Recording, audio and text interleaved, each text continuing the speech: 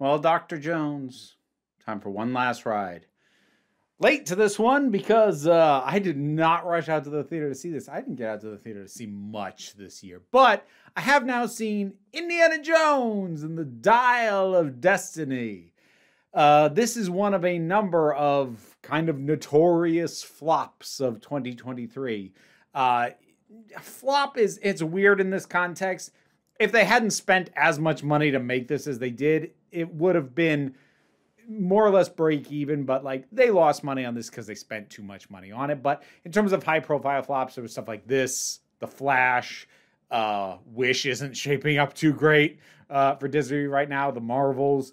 But uh, this is on the list of things that badly underperformed in 2023 compared to what was expected of them.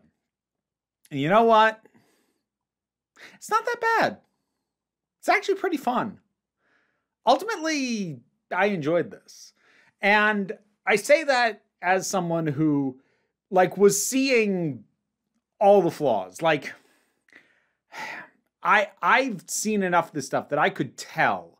Like say during the de-aged uh, Harrison Ford precursor segment, like I kind of it's not really a cold open, it goes on too long, but the the opening section of the thing, which is actually set still during World War II, and they de-age him. Um, I could tell which were the hero shots, the one they'd really made sure like this has to look perfect, and what ones were like eh, good enough. I caught it. I could tell. Now, like they picked the right ones to be the hero shots, but like I was still noticing it. Um, you know, a lot of CG, a lot of lot of compositing. Some of it's good, some of it's not. The thing was though, I had a special benefit for me for watching this. I actually watched this with my mother.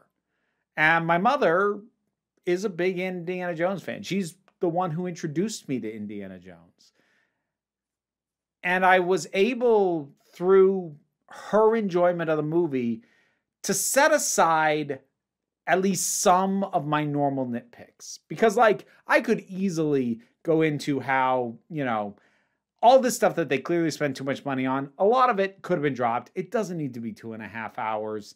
And there's also like for all the action that's in it, it's an awful lot of chases. Funny thing, uh, when you have a chase with you know uh, a car or or something, uh, Harrison Ford gets to sit down, and like I'm noticing all these things, but I I was under circumstances and with the right company that despite my normal inclinations, I was able to kind of let that go for the course of this. And the thing is, that would not automatically grant the movie a pass because if I let go of my hangups on it's too long, uh, the action is almost all chases, and there's too much CGI, et cetera, et cetera, et cetera. E- even if I set aside my normal critique brain that's picking out those things, which I was able to do, and I normally can't when watching on my own, but um, I was able to do that in this case but that does not guarantee that I think well of it because that means that whatever's left over when I'm not nitpicking those things, i.e., performances, characters, story, that still has to work. And it does for the most part. Actually, this is uh, this is a statement that'll get a whole bunch of people to immediately click off the video and stop watching. I would personally call this the third best Indiana Jones movie. And for the record, it's Raiders of the Lost Ark, um, Last Crusade, Dial of Destiny, Kingdom of the Crystal Skull, Temple of Doom. And I know, I know that that putting Temple of Doom at the bottom is going to take a lot of people off. But look, the simple, the metric is simply this: if you were to ask me, you can't watch the uh, the two best Indiana Jones movies out of the three that's left. What ones will you watch again? I would more readily watch this one than I would Crystal Skull. And Crystal Skull, I don't hate, but it's not great. And I would more readily watch Crystal Skull than I would Temple of Doom. Temple of Doom is just a mean movie. It's just unpleasant. There's some stuff there, but it's not a lot. Anyways, this is not a review of Temple of Doom. This is a review of Dial of Destiny. This has a good sense of things. It, it, it, manages to avoid some of the uh, issues that might seem superficial, but kind of took me out of um, Kingdom of the Crystal Skull. I want to say like the lack of Nazis were a problem, and that can seem off like what was wrong with the communists? Didn't they work? They kind of did, but honestly, Indy is at home punching Nazis, which you know he should still be doing. Everyone should still be doing. Punch Nazis in the face. Be Indiana Jones. Um, but it just feels better. And I think it was a very smart move to connect this to the moon landing and Operation Paperclip and the um, Nazi scientists that were brought in to actually build our space program, because that's a thing that really happened. And I think that's a really good way to reconnect him to the antagonist he is best suited to be put up against. And he just feels most at home taking on and taking down. So I think that helps. Good uh, villain, Mads Mikkelsen. Mads Mikkelsen is real good for this kind of role. He brings just enough sense of, well, he brings a sense of gravitas, of personality, but not like plastered on personality. What you what you see of a character he plays always feels very genuine, and he's just real good. He's real good for a part like this. Um, Phoebe Waller Bridge, uh, the character of Helena so Indy's goddaughter. I'm not I'm not super familiar with this actress. Like I know Fleabag is the thing she's most known for. I haven't seen any of that. I thought she worked for the kind of character she was playing, who is, you know, a bit of a con artist, bit of a flies by the seat of her pants type, and she's got a good presence for that kind of character. Uh, interestingly, the film even did some things that would normally annoy me, but it managed to do something with them to actually bring some purpose for doing that. Um, such as we start the movie and Marion and Indy are split up again. Because of course. And that annoyed me. But as the thing progressed and we got a little more information on that, I'm like, oh, okay, that actually feels like it has an impact on the characters and the situation and where Indiana Jones is. And another thing that this thing benefits from the idea of, you know, going to the moon, Indy's going to feel like more of a relic than he ever has because, well, his whole thing is looking to the past and everyone's looking to the future now. So I think that was a that was a good pairing. Um, just thematically of things. This feels better thought out than Kingdom of the Crystal Skull.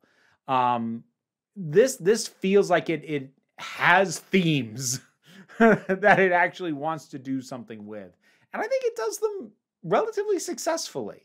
And then we also get um, some fun cameos, some from returning characters, some uh, just from actors who I'd like to see. Hi, Antonio Banderas. You're not in this movie a lot, but it's nice to see you. Literally in anything.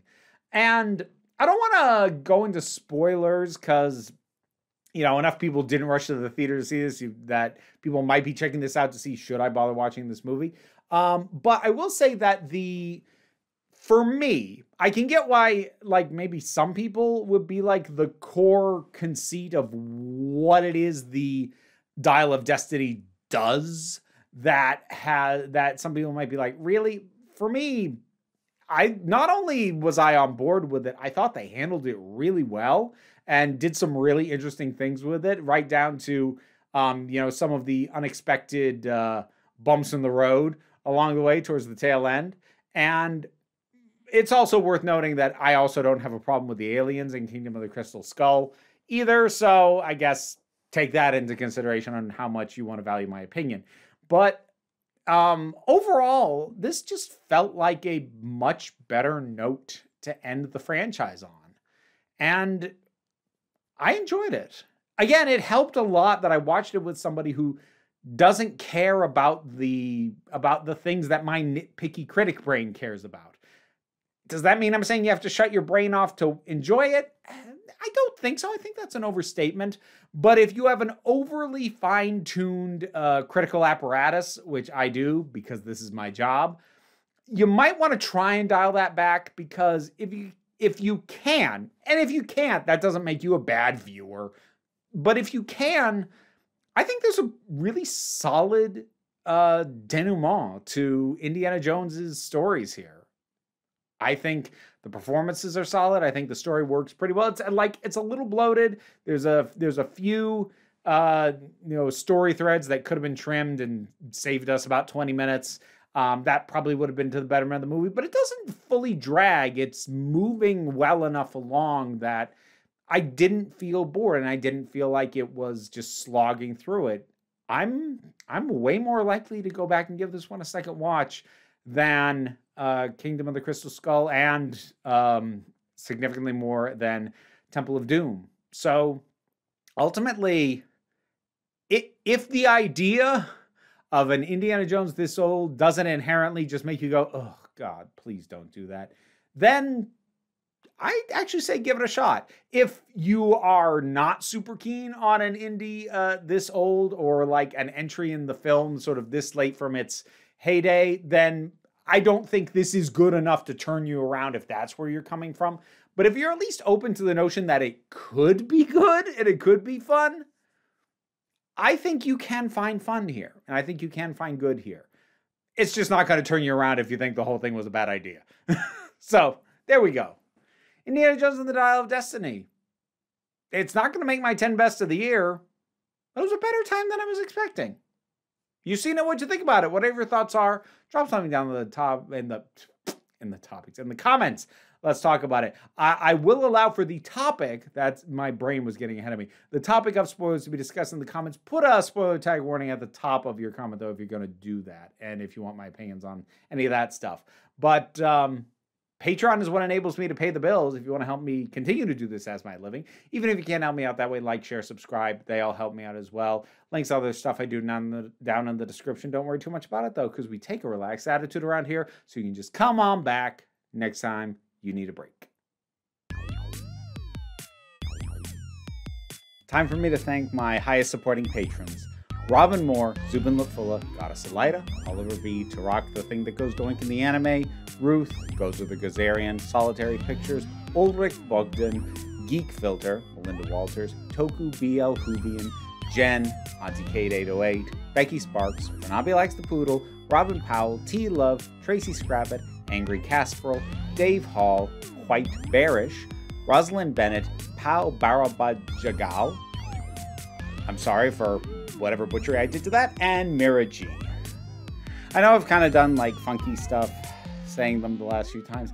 I had this whole idea where I was gonna like sing them to the tune of Carol the Bells, but then I realized it's gonna like clash with my outro music, and I didn't really want to rework that or just cut the outro music out altogether. That felt weird, so I just I just didn't I just didn't I just didn't do a thing this time. But now I've told you that I didn't do a thing. So I've made a thing about there being no thing. Okay. Thanks for sticking around. Bye.